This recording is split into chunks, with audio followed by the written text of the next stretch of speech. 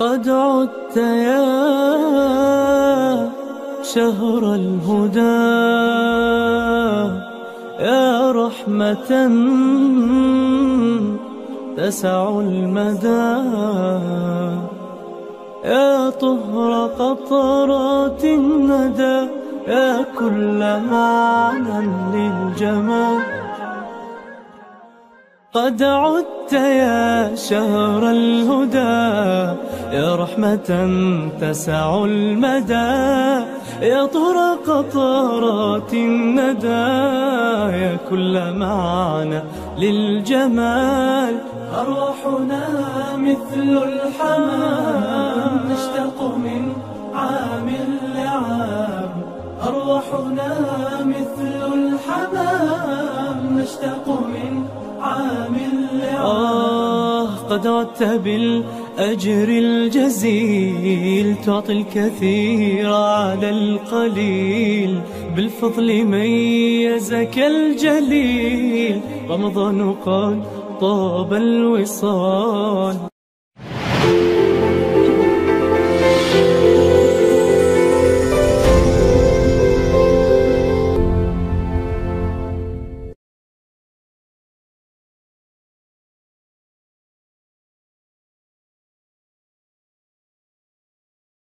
الشيطان الرجيم. الحمد لله رب العالمين وأشهد أن لا إله إلا الله وحده لا شريك له. له الملك وله الحمد وهو على كل شيء قدير.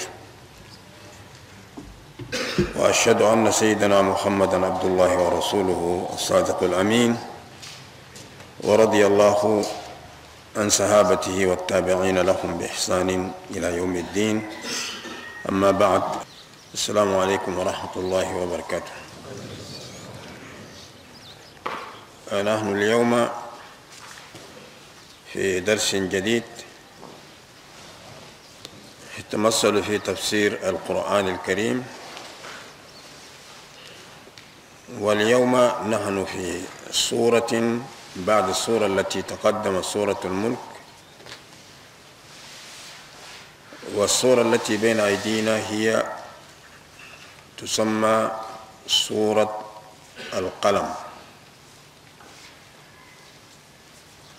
وتسمى أيضا سورة النون. وهي سورة مكية.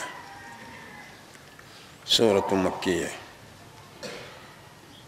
وهي بحسب ترتيب الرسم القرآن الكريم هي السورة رقم ثمانية وستون تقع في هذا الرقم وفي هذا الترتيب. هذه السورة أو في ترتيب القرآن الكريم.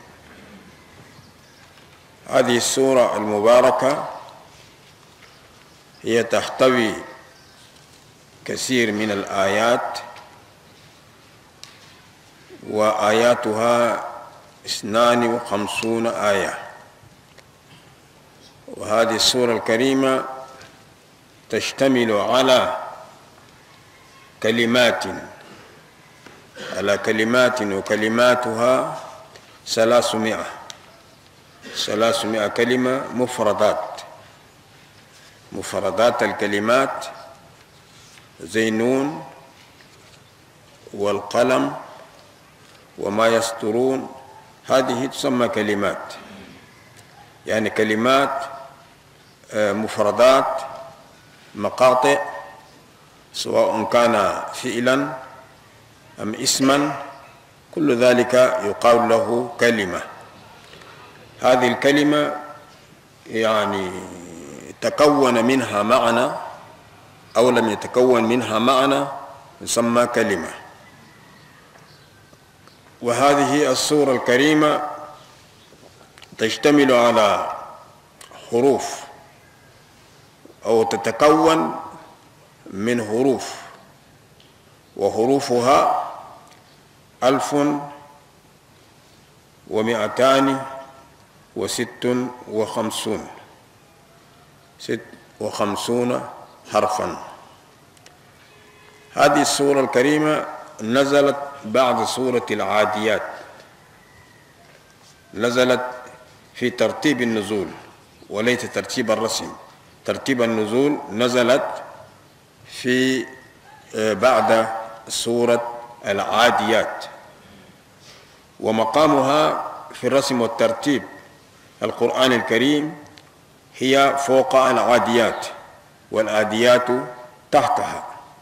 ولكن في آه، نظام النزول أو في ترتيب النزول هي نزلت بعد سورة العاديات. هذه السورة الكريمة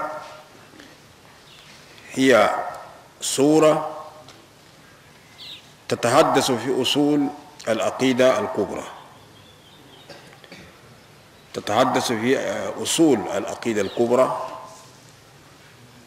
ومحور الكلام أكثره يتناول وتتحدث عن ثبوت نبوة النبي صلى الله عليه وسلم ورسالته. هذا هو المحور الكلي أو الجلي بالنسبة للسورة. وهذه السورة الكريمة قال الإمام القرطبي إنها جزء يتكلم وتتناقش السورة وتشنع السورة جلها نزل في الوليد بن المغيرة وعمر بن هشام أبو جهل. فبدأ الله سبحانه وتعالى أول السورة الكريمة بحرف من الحروف التي يتكون منها كلمات. فقال النون والقلم وما يسطرون. هذا الكلام كلام كثير حول هذا الكلام. وكلمة النون تكلم فيها المفسرون كلمات أو كلاما كثيرا. ومن بين ما تكلموه وتحدثوه قالوا كلمة النون الله قسم هو اسم للسمك. سمك عظيم كبير يوجد تحت أرضين السبعة. والأرض كلها على ظهر هذا السمك. على ظهر هذا السمك. وقال إمام الإمام ابن جزي الكلبي الجرناطي قال هذا الكلام غير صحيح. قال أنه ضعيف. لأن كلمة النون لو كان يراد بها السمك لدخلت في الإعراب سواء كان صرفا أم إعرابا. ولكن نون هذه لم تدخل في الإعراب لأن الإعراب جزء من المعنى. فعندما لا يفهم من الحرف معنى الدقيق فالإنسان لا يستطيع أن يعرف يعرف الكلمة. ومن هنا كان هذا الكلام ضعيف. وقيل كلمة النون اسم للدواتي الدوايا التي يكتب بها الناس. تسمى من أسمائها نون. من أسماء الدوات نون. ولذا ربنا قسم بالقلم وقسم بالدوات التي يكتب بها القلم. إذا هذا أيضا أيضا قال آه، ابن جزي الكلبي قال هذا أيضا ضعيف لأن الدوات نعم اسم معرب وبإعراب هذا يؤرب على حسب العوامل. أما نون هذه لا تؤرب كما تؤرب الدوات. إذا صار هذا الكلام أيضا ضعيف. الذي تميل إليه أكثر التفاصيل وقد يكون هو الصحيح أنه النون هذا حرف من حروف التهجي حرف من حروف التهجي يعني حرف من حروف الهجاء. حرف من حروف الهجاء. لا فرق بينه وبين ألف لام ميم. ألف لام راء لا فرق بين هذا وهذا. وفي هذا نجد أن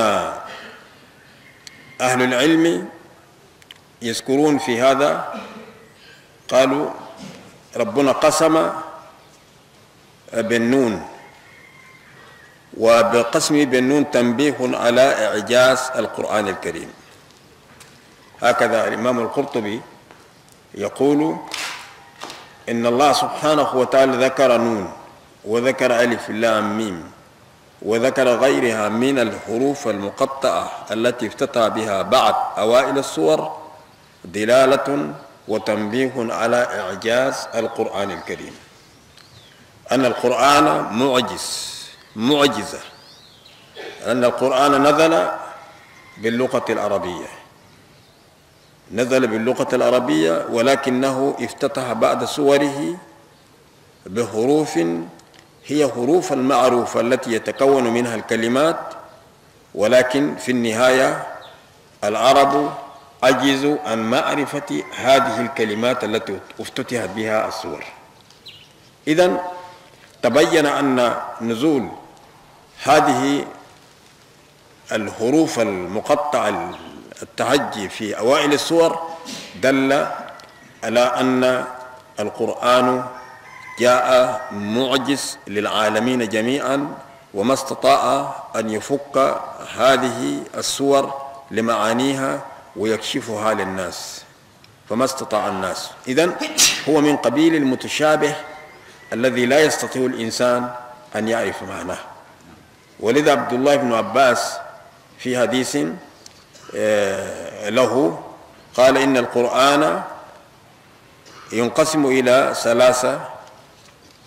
نعم قسم استأثر الله بعلمه مثل نون ألف لام ميم ألف لام حاميم هذا قرآن ولكن الله استعصر الله بعلمه. لا يعرف معناه إلا الله. وقسم آخر لا يعذر الإنسان بجهله. لا يعذر الإنسان بجهله. مثل قل هو الله أحد. هذا لا يؤذر الإنسان بجهله ما دام ينطق باللغة العربية. فكلمة أحد نعم هذه واحدة واضحة لا تحتمل اثنين ولا تحتمل ثلاثة إنما واحدة يتكون منها الحساب ابتداء من واحد. إذا هذه من جهل وقال لا أعرف كلمة أحد هو من الذين ينطقون باللغة العربية؟ نعم لا يؤذر بهذا. ولا يقبل منه أذره وقسم آخر الله شارك به شارك به عباده لأن يفعلوا أذهانهم ويفعلوا عقولهم في الوصول إلى استنباط الأحكام التي هي شريعة الأمة الإسلامية. فهذا القرآن ينقسم إلى هذه الأقسام. إذا النون هي من قبيل قبيل القرآن الذي استأثر الله بعلمه دون سواه. إذا ربنا سبحانه وتعالى يذكر لنا ويقول نون والقلم وما يسطرون. طيب هذه الحروف المقطعة والتهجي إذا هي نزلت لإعجاز إذا نزلت لإعجاز معنى الإعجاز البصر بشر. حتى لا يصل لا يصلوا إلى إدراك هذه المعاني. إذا دل على أن هذه الحروف هي جديرة أن يفتتح بها أوائل الصور. وإذا كانت بهذه المثابة وهذه العظمة وهذا الشرف الكبير لهذه الحروف المقطعة نعم الله يقسم بها. الله يقسم بها. ومن هنا الله قال نون والقلم. نون الله أعلم بمراده. من كلمة نون. كما يقال في ألف لام ميم الله أعلم بمراد ذلك. نعم هنا أيضا في القول الحقيقي الله أعلم بمراده. بمراد كلمة نون. وكلمة نون هذه آه، مكونة من ثلاث حروف. نونين ووسطهما واو. إذا كلمة هذه الحروف الثلاثة هي اسم لهذا الحرف اللي هو نون. اسم لحرف النون. فنأتي ونقول النون. إذا الحروف كلها تجد مثلا آه، الباء هذه حرف واحد لكن اسمها مكون من حروف. نجي نقول باء مكون من ثلاثة آه، حروف. باء ألف همذا وهذا أيضا من قبيل هذا. ثم الله قسم بال والقلم. والقلم. القلم قلمان. قلم الوهي وقلم الدنيا. وقلم الدنيا ينقسم إلى أقلام. قلم الوهي الله خلقه. قلم الوهي وقلم الخلقة. الله خلق قلما. وهذا القلم هو الذي أقسم الله سبحانه وتعالى به. نون والقلم. إذا هذا القلم خلق من نور. القلم الذي خلقه الله سبحانه وتعالى خلق من نور. وطوله كما بين الأرض والسماء. وطوله كما بين الأرض والسماء.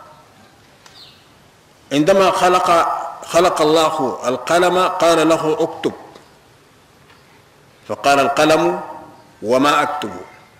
قال أكتب ما كان وما هو كائن إلى يوم القيامة. ما كان وما هو كائن إلى يوم القيامة. فكتب القلم كل المقادير. كل شيء كتبه وكل المقادير كتبت في لوح المحفوظ. الخلق والآجال والأرزاق والمصائب والرحمة وما ينزل على البشر وما ينزل على المخلوقات كله كتب. وبعد أن كتب جف القلم وسكت القلم لا ينطق ولا يتكلم ولا يكتب. إذا هذا القلم لعظمة هذا القلم الله قسم به. قسم به. والقلم. ثم هذا القلم الله خلق عباده في هذه الدنيا وفي هذه الأرض وجعل لهم شؤون في هذه الأرض وأنزل لكم دين. إذا هذه الأديان لولا القلم لما بقي دين. لولا القلم لما بقي للناس دين. ولذا الله أنزل القرآن الكريم منجما وكان آه، لهذا القرآن النازل ولهذا الوحي النازل. نعم كتاب كتاب رسول الله صلى الله عليه وسلم. إذا نزلت آية كتبوها. كتبوها. ولذا أهل العلم يقولون لولا لولا القلم لما بقي على وجه الأرض دين. دين. لا يمكن أن يحفظ ولا يمكن أن يضبط إلا بالأقلام. إذا يعني قلم يكتب وحي الله ودين الله. يكتب قلم في هذا في الأمة الإسلامية قلم كتب الوحي. كتب الوحي. وقلم آخر كتب الرسائل. الرسائل التي تكتب وتصدر من رسول الله صلى الله عليه وسلم إلى الملوك. وقلم آخر كتب المعاهدات بين رسول الله صلى الله عليه وسلم وبين أناس آخرين. وقلم آخر جاء من بعد ذلك أقلام التي قد كتبت القرآن وساقت القرآن بعد استكمال الوحي وبعد انتقال الرسول صلى الله عليه وسلم إلى رفيق الأعلى.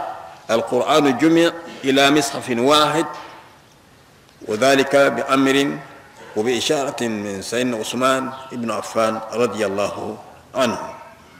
إذا هذه نقلت الموجودة والمكتوبة إلى مصحف آخر. أقلام أخرى جمعت سنة رسول الله صلى الله عليه وسلم لولا القلم هو الذي كتب أحاديث رسول الله وجمع هذه الأحاديث لما وجدنا حديثا واحدا. لما وجدنا حديثا واحدا. ثم جاءت أقلام التي تكتب تاريخ الأمة أو تكتب سيرة رسول الله صلى الله عليه وسلم وتدون تاريخ الأمة الإسلامية. لولا هذا القلم لما وجد الناس تاريخ أمتهم لما وجد الناس سيرة نبيهم صلى الله عليه وسلم. ولكن بهذا القلم كتبت السيرة وكتب التاريخ والناس تمتعوا إلى يومنا هذا بتاريخهم وبسيرة نبيهم صلى الله عليه وسلم وهذا التاريخ يعتبر أكبر ذخيرة للأمة الإسلامية يرجعون إليها. نعم ويتصلون فيما يقرؤون من سيرة رسول الله صلى الله عليه وسلم. قلم آخر جاء وجاء يستنبط الأحكام من القرآن ومن السنة. القرآن نزل كهالته هذه بين أيدينا ولكن هذا القرآن غني يحمل معاني. يعمل معاني ويحمل أحكام كبيرة. هذه الأحكام الكبيرة كيف تخرج؟ لأنها مضمنة في في الآيات القرآنية ولا يمكن أن يصل إليها كل الناس. فالله سبحانه وتعالى وفق من بعد عباده ودرسوا الكتاب ودرسوا السنة وقرأوا اللغة العربية وتبحروا في كل الجوانب واستطاعوا أن يغوصوا في القرآن الكريم ويخرجوا اللآلي والأنوار التي هي في القرآن الكريم من الأحكام التي آه، من جملتها الواجب والمحرم والمكروه. والمندوب والمباح. هذه الأقلام أقلام الفقهاء والمفتيين. أقلام الفقهاء وأهل الفتوى كتبوا وقرروا. جاء أقلام أخرى ما استنبطه مالك وما استنبطه الإمام الشافعي وما استنبطه أبو حنيفة وغيره من سيدنا أحمد وغيره من أهل العلم جاءت أقلام أخرى لتفند وتوزع وتعطي كل مسلم يجد نصيبه ولو ترك الكلام كما كما استنبطه الفقهاء لما استطاع كثير من الناس أن يفهمونه. ولكن جاءت أقلام أخرى هي أقلام الشرح. أقلام الشارحة لمستنبطات الفقهاء. وشرحوا هذه بشروح وافية. وجاءت شروح أخرى لما شرحه العلماء ما تسمى بالحواشي. نعم زادت توسعة للمعنى ومددت أكثر في تبيين المعاني. نعم أقلام أخرى كتبت في ماذا؟ كتبت ودونت وجمعت اللغة العربية. لو لولا القلم لما وجد الناس اللغة العربية. لداع كل شيء وما وجد الناس اللغة العربية الصحيحة التي نطق بها القرآن الكريم. لكن الله هيأ من عباده وجاءوا ودونوا اللغة العربية وكتبوها بأقلامهم وفندوها بأقسامها سواء كان نحوا أو صرفا أو بلاغة أو شعر. الجاهلي وفي الإسلام كل ذلك دون هذه الأقلام نعم هي عون للأمة الإسلامية.